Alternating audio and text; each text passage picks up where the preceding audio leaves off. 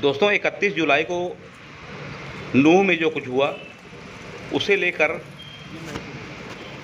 Faridabad police action में है। यहाँ तक कि नूह की पुलिस भी। और देख सकते हैं यहाँ आप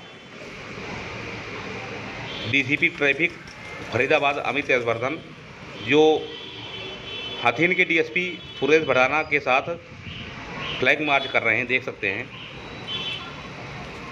डीसीपी ट्रैफ़िक और डीएसपी सुरेश भड़ाना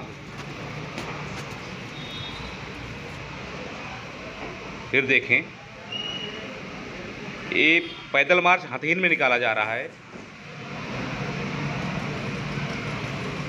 और शांति की अपील की जा रही है, भाईचारे को बढ़ाने का संदेश दिया जा रहा है।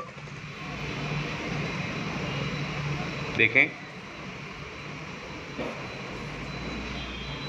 हरियाणा अब तक से पुष्पेंद्र सिंह राजपूत।